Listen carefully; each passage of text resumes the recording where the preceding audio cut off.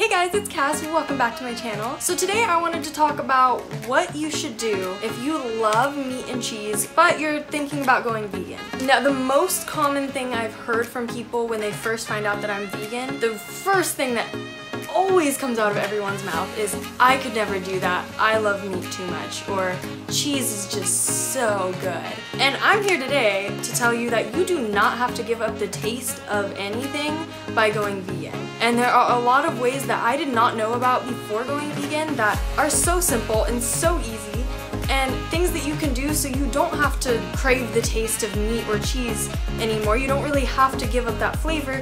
You just basically are giving up paying people to kill animals for food. One thing I want to mention before I start really talking about the facts of this video and tips on what you can do is the common misconception that people have about vegans is that vegans didn't really like meat or cheese that much to begin with so they were okay with giving it up and it wasn't that big of a deal in their life.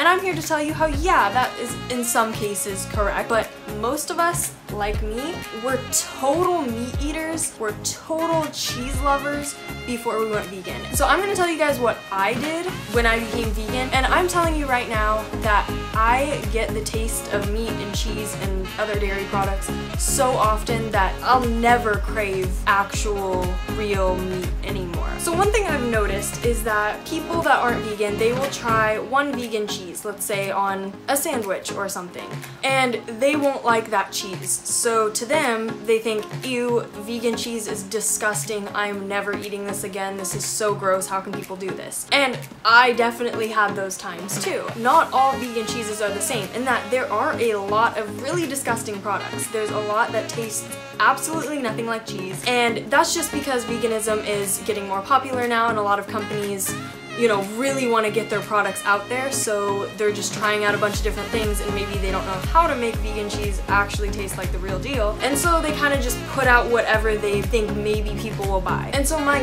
number one tip throughout this whole video would be keep trying different things. There's not just one good vegan cheese out there, there's actually a lot, but you just gotta go out and find it. And if you seriously can only find one or two brands that you don't really like, cook them different ways, season different things, put them in different dishes, and it might surprise you. So just to give you guys a couple suggestions, here are my two favorite vegan cheeses. So my very favorite that I literally tried like two weeks ago is the Field Roast Chao Creamy Cheese in the original flavor. It is so good. It's, to me, it's kind of like a white cheddar flavor, and um, a lot of vegan cheeses I've realized don't really melt the same as regular cheese, and this cheese seriously melts really, really good, and it tastes amazing. My second favorite cheese is the Daiya cheddar cheese um, slices. I don't necessarily like the shredded cheddar cheese. I think they're probably the same. I just don't know why I like the slices. They taste good on grilled cheese to me. So I basically have to say the same things with vegan meats. There's a lot that are disgusting. Even in restaurants sometimes they'll have gross vegan meats. So my favorite vegan meats by far are the Beyond Meat sausage in the hot Italian flavor. That's the one of the few vegan meats that I can eat just by itself, no sauce, no topping, nothing. Like it's so good. It tastes just like a normal sausage. It's definitely worth a shot if you think you've tried everything and you're really giving up on vegan meats and you were really craving that meat taste. I would say to go for that. The Beyond Meat burgers are really good too. They sell those at Carl's Jr. Another thing I love to just mix in with a lot of dishes with veggies or pasta or anything are the Morningstar beef crumbles.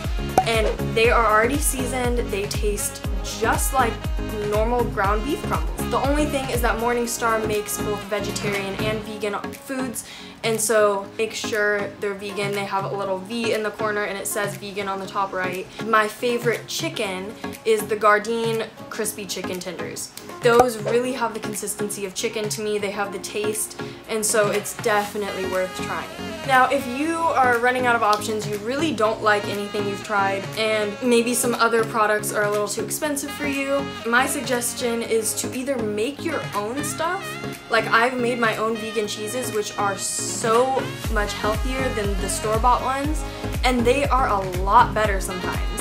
And there's so many vegan cheese recipes out there and you can find a ton that are nut-free, soy-free, everything for you basically. Even vegan meats you can make on your own with, you can do a lot with tofu, um, with these soy curls, and even with tempeh and seitan.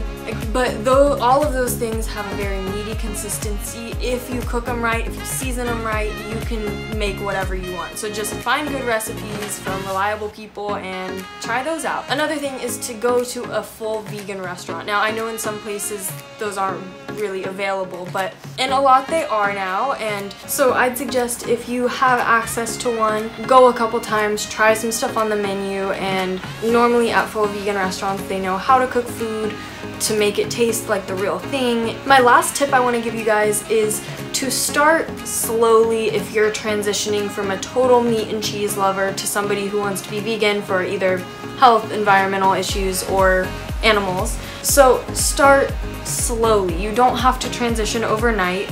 Yes, if you can, great. If you can't, like most people, then don't.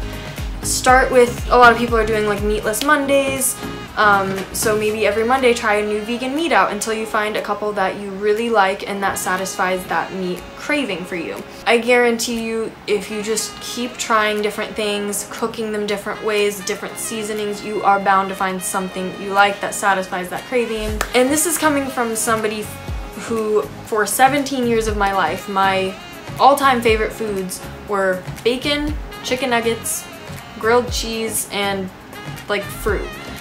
And so most of my favorite things included meat and dairy and I, you know, never thought I could give it up for a week. I'm not just somebody who has a ton of willpower that I'm having all these cravings and I just don't think about it and don't do anything about it. No, these are things that I still have been craving ever since I've been vegan, but I'm satisfying those cravings with vegan options because they taste like the real thing. Like I'm finding so much that actually tastes real. I would I never have craved any type of animal product since I've been vegan. I just find new products that I actually like that taste like the real thing. So this is basically the end of the video. I hope this helped you guys. And if you want to know more suggestions on some of my favorite vegan meats and cheese, then comment down below. I will definitely reply to you guys. If you have any other video requests or anything else you'd like to say, comment down below. Please give this video a like and subscribe to my channel if you like this video. And I will see you guys next time.